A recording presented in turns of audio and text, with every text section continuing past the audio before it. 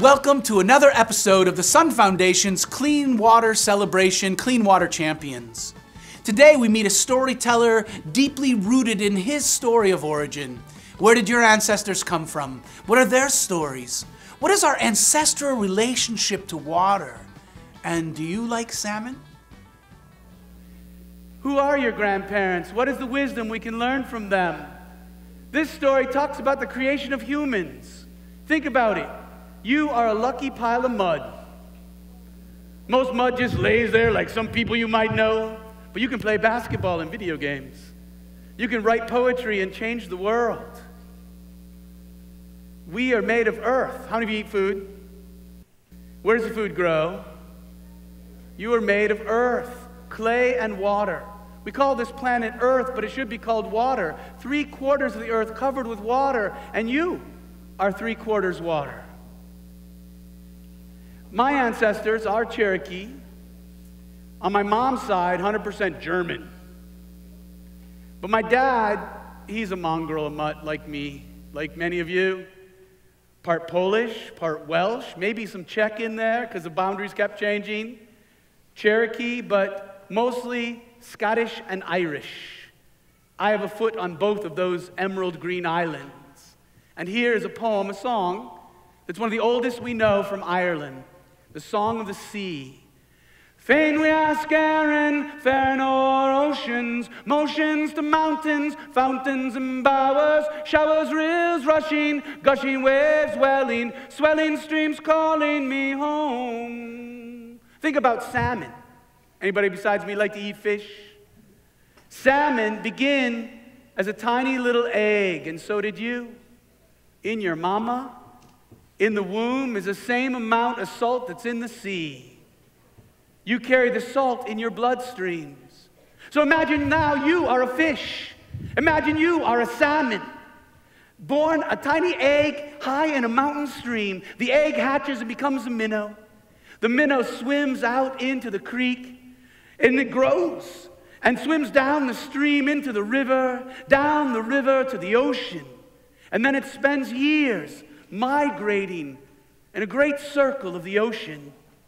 And when the time is right, and you will know when the time is right, it smells its way home.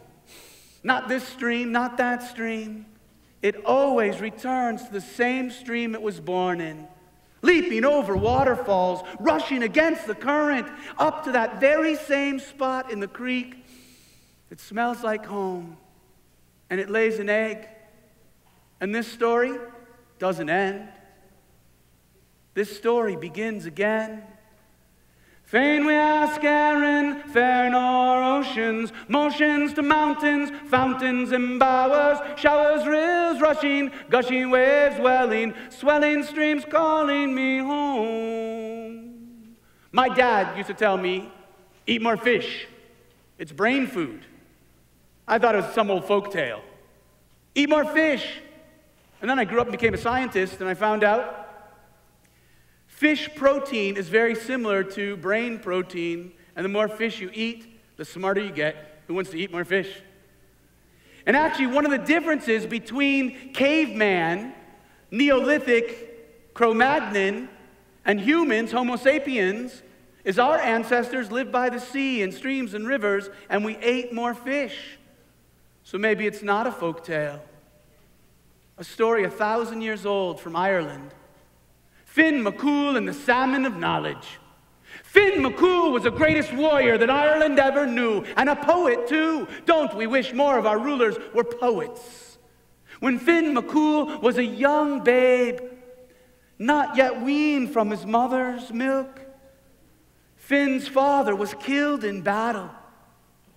And Finn's mother was faced with a terrible choice. Maybe the enemy would come and claim my son, murder him so they could claim the throne. And she was faced with a terrible choice to save her son's life. She hid him in the forest. She gave him to two old druid women, wise in the ways of the woods. They kept him in an ancient hollow oak tree. They raised him upright. They taught him which plants were medicine and which were poisonous. which berries and roots would feed you and which might kill you. They taught him how to fence with sword and shield, for druid women are warriors too. But when Finn was a young buck, they felt that he had learned all they could from him. He had learned all they could from them. He needed a man's presence. So they sent him to Finnegas. Now, without a doubt, Finnegas is one of the greatest poets that Ireland ever produced. Finnegas knew the ancient bards, the stories of our ancestors. But Finnegas loved two things one, of course, being poetry, the other one, fishing. Anybody besides me love to be fishing? But there was one fish in particular that Finnegas wanted to catch. It was the fabled salmon of knowledge. As the ancient prophecies foretold, if you were the first to take a morsel of this fish, you would have the gift of tongues, knowledge of all things in this world and the worlds beyond. You would know the languages of bird and beast, fish and flower. Who would like to learn the languages of other creatures? To be able to speak to them, but more important, listen and know of what they speak. Well, one day, young Finn was lying by the river Boyne with his two favorite hounds, Bran and Sgurr. He was watching the clouds race by when he heard his teacher, Finnegas, shout, What joy, what rapture! My treasure I capture! Maybe not his best effort at poetry. But he had landed the fabled salmon of knowledge. He brought it to young Finn. He said, Boy, please stoke up the fire. Skin this fish and cook it for me. But whatever you do, don't have a bite, not a morsel. I caught it. It's only right. Finnegas, the poet, had the gift of tongues. Well, young Finn did as he was instructed. He built a roaring fire. He took a slab of granite, a flat stone, and put it on the fire so when the stone was red hot, he could broil the fish. He filleted the fish and he made a wonderful, wonderful sauce of wild herbs and honey. He had learned from the Druid women. He slathered the salmon with honey and he put it on the rock and he watched it. And as it was cooking, under the skin, he saw a little bubble of oil begin to form. And heated by the fire, that bubble of oil began to expand. And as the bubble rose, young Finn went to poke it down. oh, the hot oil burst on his thumb. And when he touched his thumb to his tongue and tasted that salmon, his thoughts raced like the clouds in the blue sky.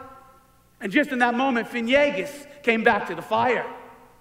And Finnegas said, You done it, didn't you, boy? You tasted the salmon? Now, young Finn was about to refute him, deny it. But somehow he knew in the next moment what Finnegas would say. The ancient prophecy said a man named Finn should have the gift of tongues. I thought, I, Finnegas, but maybe it's you, boy. Finn McCool, someday you'll be the greatest ruler that Ireland ever knew. And so it is. The story came true. Young Finn ruled Ireland with compassion and wisdom. He had the gift of tongues. He knew the languages of birds and beast, tree and flower. And again, I ask you, who would like to have such knowledge? The truth is, science is giving us this knowledge. We can learn the languages of other creatures, of dolphins and whales, of bird and beast. You doubt me? National Geographic, I just read an article a couple years ago. A scientist learned the languages of prairie dogs. He began to learn 26 different words. The prairie dogs even had a different call. They barked differently when he wore his hat and when he didn't. Science is giving us this gift. And with knowledge comes responsibility. With knowledge, when we act on it, becomes wisdom. One more time, I'll ask who loves to eat fish? If you haven't tried it yet, don't knock it. The fisheries of the world are collapsing. In so many places, we take, we take, we take, and the fishes are disappearing.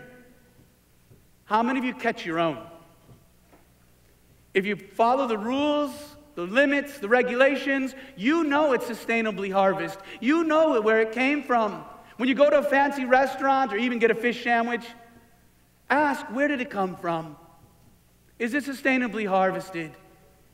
With knowledge comes responsibility, and every morsel we put in our mouth is a sacred relationship with the earth and the sea. Thank you. I do love fish, and I love to go fishing, and I love to eat fish. But as you just heard, it is very important to think about where those fish come from. We make choices about sustainability when you more than just read the label, but ask good questions, or better yet, go fishing. That way you know where your fish comes from. And this way, you too will care more about the sources of our food. Every morsel you put in your mouth, you can become a clean water champion.